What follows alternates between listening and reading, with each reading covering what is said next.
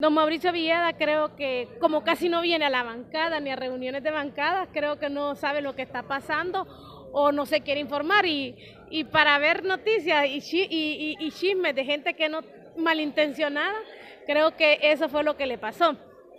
Que hable de Mario Segura, del ingeniero Mario Segura como jefe de bancada, pues 16 votos de los diputados, no creo que van a comprar 16 conciencias para, para que él fuera jefe de bancada.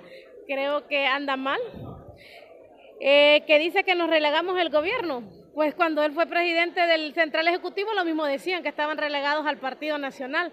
Mire, lo que pasa es que uno como diputado tampoco puede decirle no a todo, solo estar en oposición si el país tiene que avanzar, el país tiene que crecer. Yo no quiero un país que esté en fracaso y que nos lleve más de lo que hemos estado, no sé, los demás personas si quieren eso para Honduras, estar diciéndole siempre no, no a, libre y tal vez las cosas sean bien para el pueblo hondureño. ¿Qué tan dividido está el Partido Liberal con esas declaraciones del abogado Mauricio Villeda? Se da a conocer que al parecer hay bastante diferencia. Eso es lo que yo le dije hace rato, mire. Cuando el ingeniero Mario Segura nos convoca a sesiones de bancada, que prácticamente son los martes, a las 2 de la tarde llegamos los mismos de siempre eh, habemos 33 diputados que siempre vamos y él no llega. Entonces, ¿cómo se va a enterar de lo que está pasando? Está exigiendo que Mario Segura, que el ingeniero Mario Segura dé, de cuenta de lo que pasa y no llega a la bancada. yo creo que no lo va a ir a buscar a, donde está él trabajando para decirle acá está.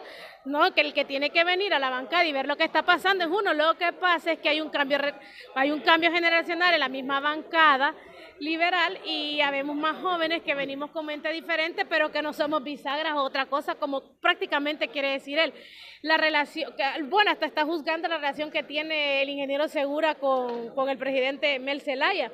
Creo que tampoco podemos juzgarlo porque cada quien tiene derecho a tener sus amistades. Así como otros fueron amigos del expresidenciable Juan Orlando, hoy, hoy también son amigos de Mel. Si Mel fue liberal, creo que no podemos negarlo, negarlo eso.